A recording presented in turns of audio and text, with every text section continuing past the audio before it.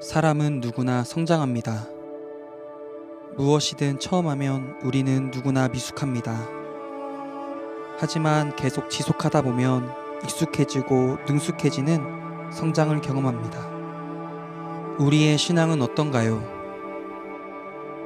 갓 걸음마를 뗀 아이가 한 번에 달릴 수 없고 말하기 시작하는 아이가 유창하게 말할 수 없듯이 우리의 신앙에도 성장이 필요합니다. 한 단계 한 단계 성장하는 그리스도인으로 우리 청소년들의 신앙이 성장하는 시간이 되기를 소망합니다.